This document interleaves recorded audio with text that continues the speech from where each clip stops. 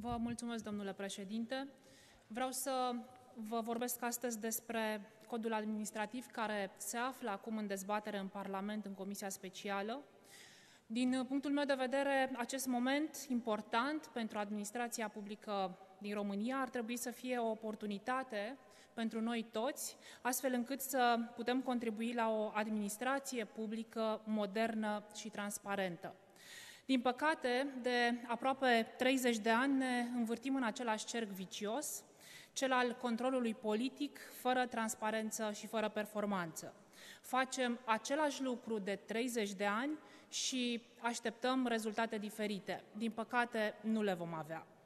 Am depus în acest sens amendamente care, din punctul meu de vedere, sunt necesare pentru modernizarea societății românești și ar fi doar un prim mic pas. Primul amendament se referă la eliminarea funcției de viceprimar. Cred că știm cu toții că în majoritatea țărilor această funcție nu există sau dacă ea există, nu este remunerată. Directorii și șefii de, șefii de servicii care există în organigrama unei primării sunt de ajuns ca să deservească un act administrativ de calitate.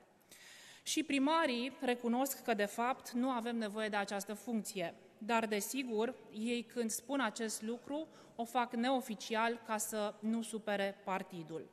Ce am putea face cu acești bani pe care i-am economisi? Am putea oferi o masă caldă pentru fiecare copil care merge la școală.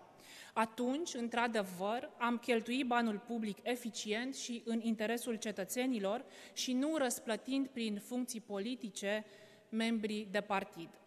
Al doilea amendament se referă la modificarea numărului de semnături necesare unei inițiative cetățenești. În momentul de față, procentul este de 5% din numărul cetățenilor cu drept de vot, cu domiciliul sau reședința în unitatea administrativ-teritorială.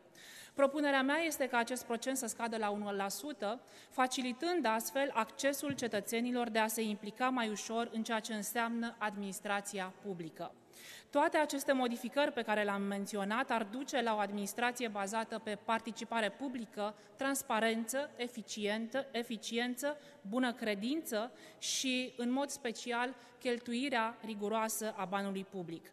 Declarativ, nu am auzit niciun coleg parlamentar să spună că nu își dorește aceste lucruri. Însă, din păcate, de la vorbă la faptă e cale lungă. O cale lungă de aproape 30 de ani.